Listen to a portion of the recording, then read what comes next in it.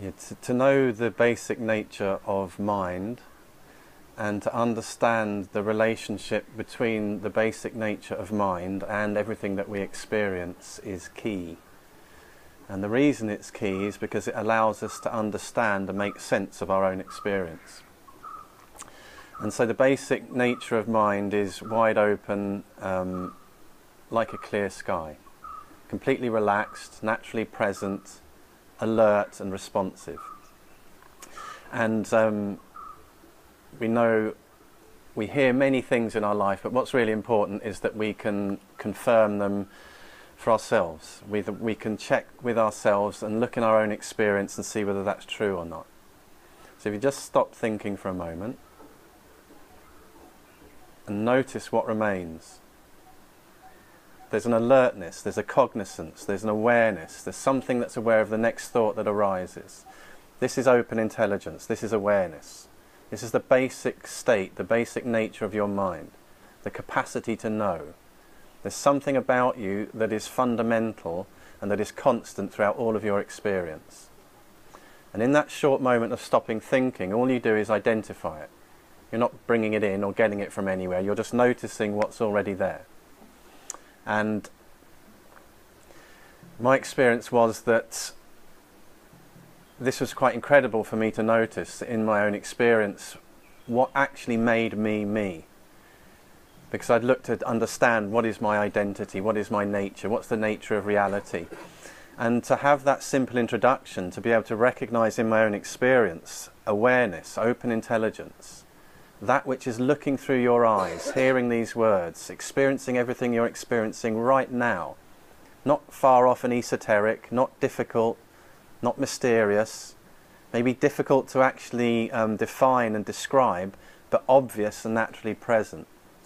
And to be able to identify this in my own experience was just something incredible because I recognized that this has always been present for me. This has always been the basis of my experience. Like I knew there was something that made me me.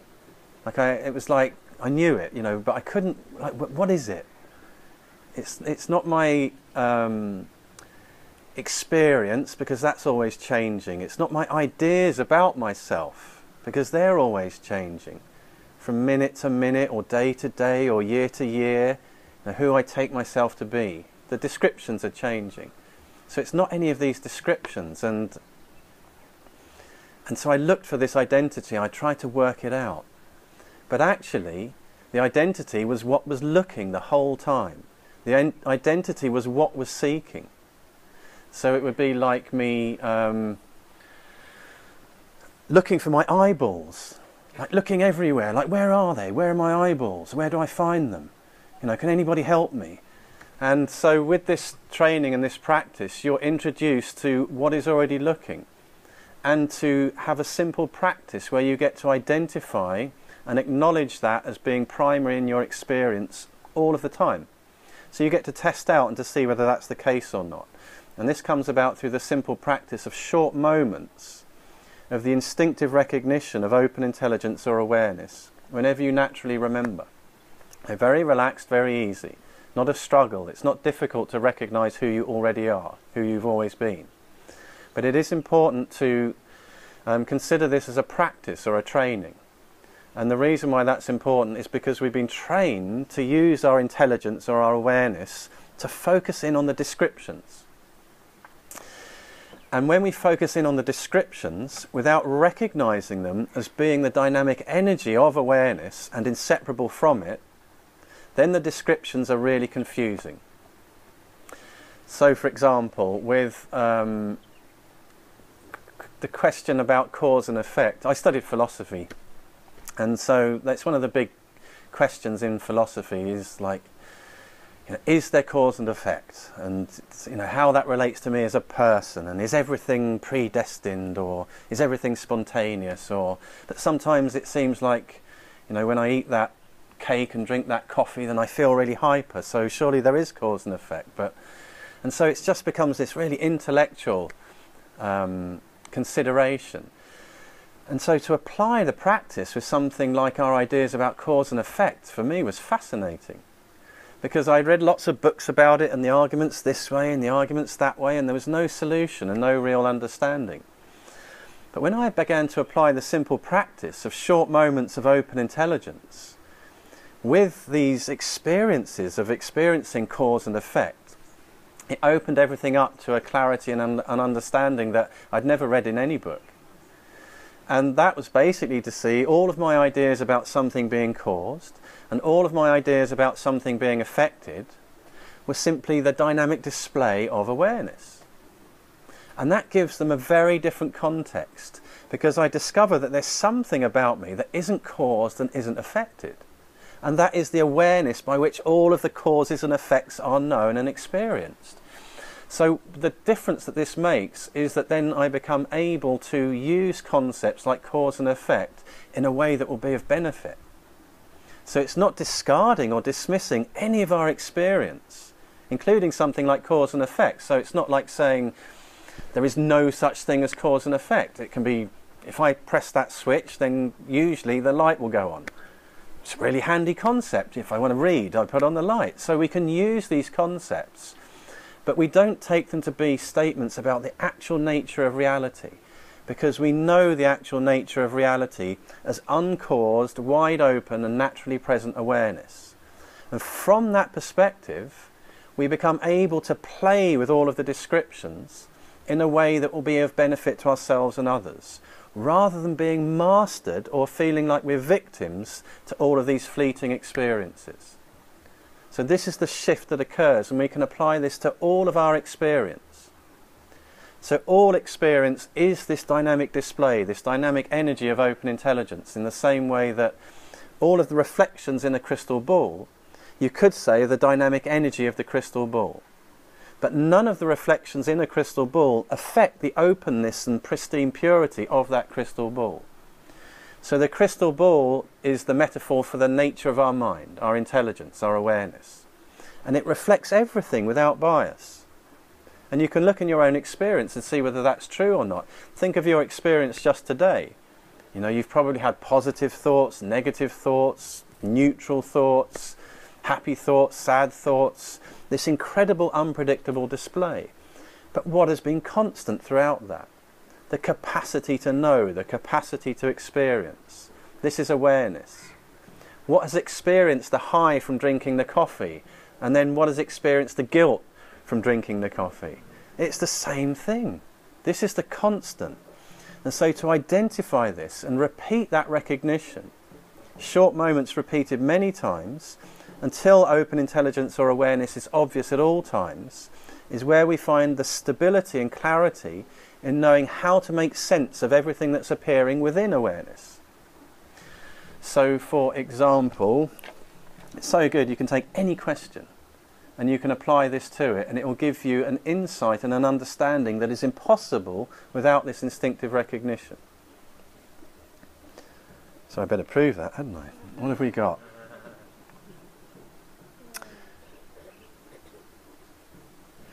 Like the ideas of equalness and evenness, in terms of, um, you know, perhaps we have an idea that everyone is equal, or that. Um,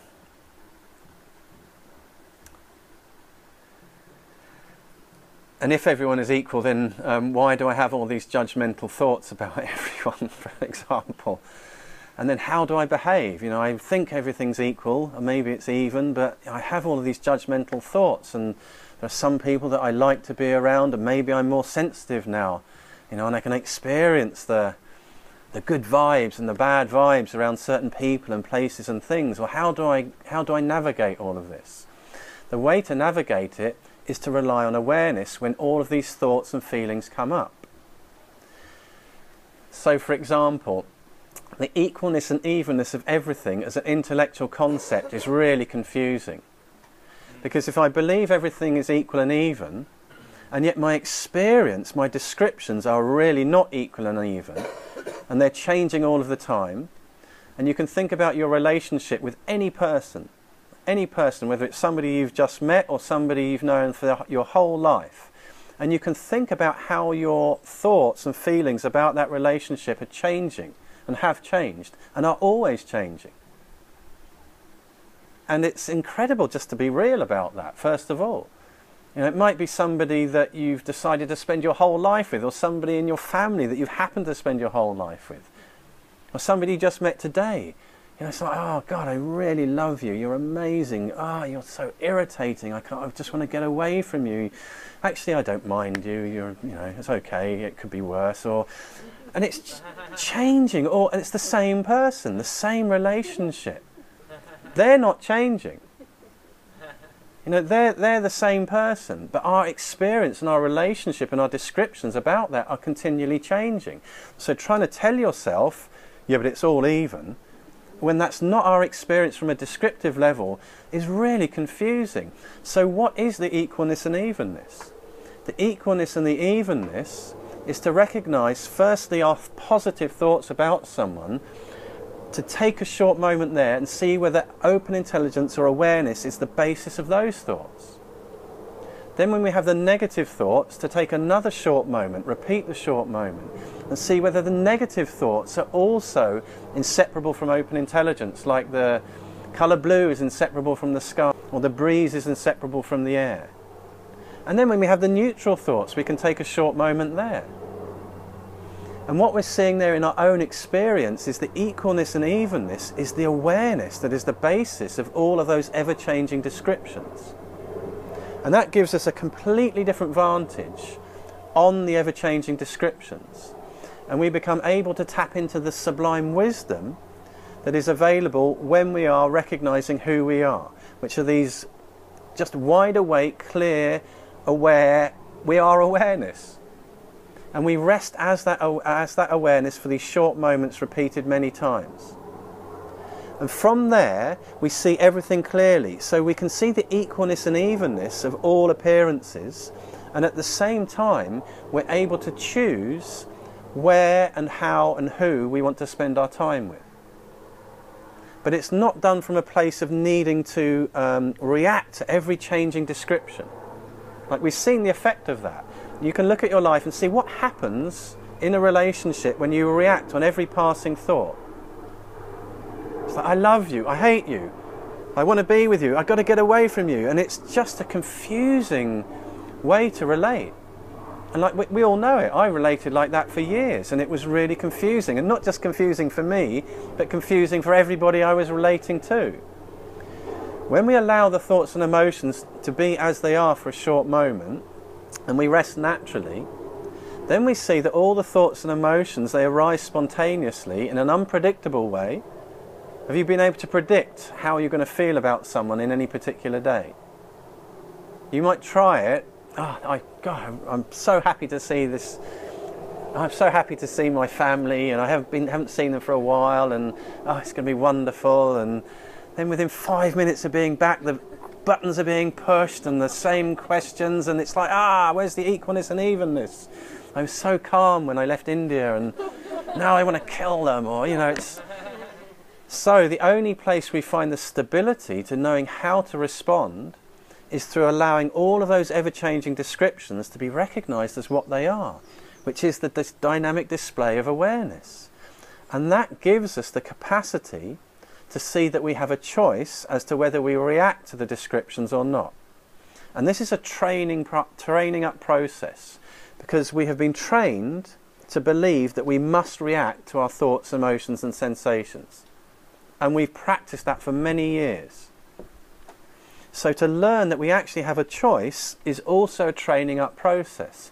And each short moment of recognizing awareness and resting there rather than automatically following after a description, is the training up process. We're seeing that we already have a choice. It's not something that somebody gives us. You don't come to Balanced View and get this choice.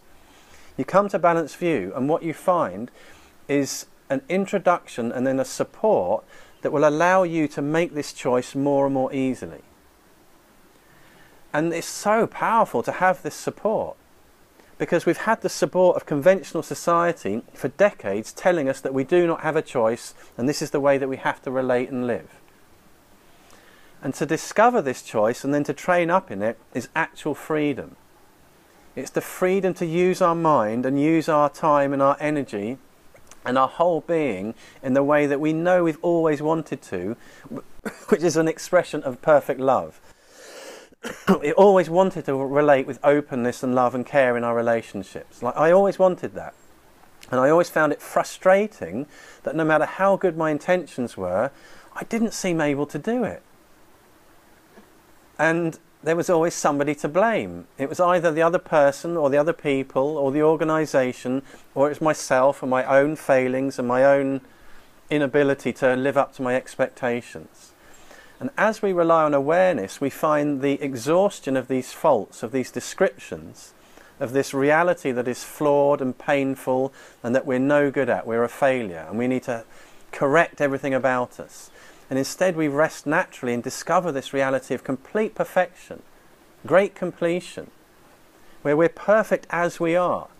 Nothing needs to change about ourselves for this recognition. Nothing needs to change about you for you to recognize who you've always been. Amazing. Incredible. Unbelievable. Like when I heard that, it's like they have no idea what I think and what I feel. If they knew that, then they wouldn't be saying that.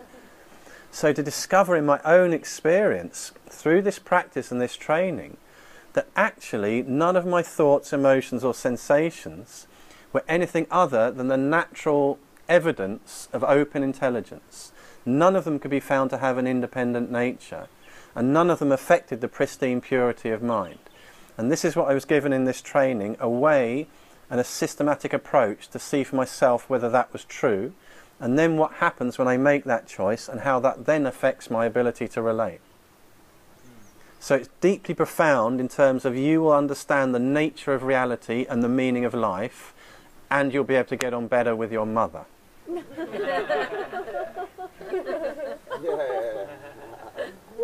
This is the this is the meaning of equalness and evenness. This is the profound meaning.